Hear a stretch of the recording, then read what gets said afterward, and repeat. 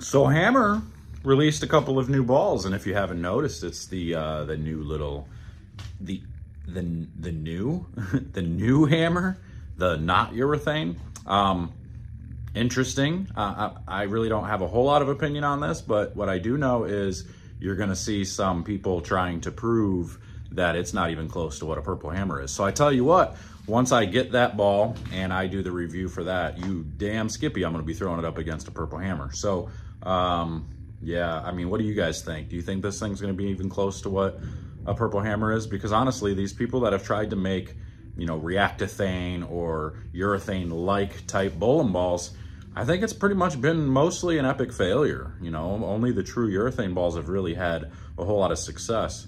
Um, I mean, that's why you don't see a whole lot of like Zen U's. You don't see those burgundy hammers anymore. Um, what are some other ones? Like,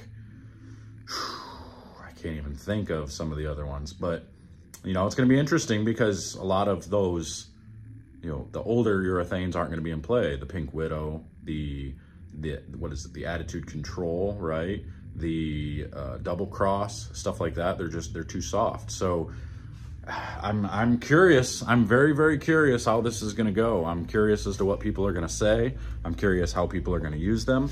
Uh, is this ball going to be like for me? The Zen U looked pretty good out of box, and then as soon as it got a little bit of lane shine, because it they tend to do that, uh, it got over under for me.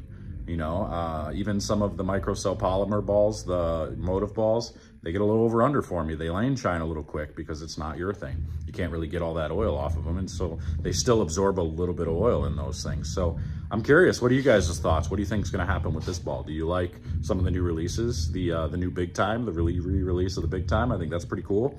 Um, but let me know in the comments what you guys think.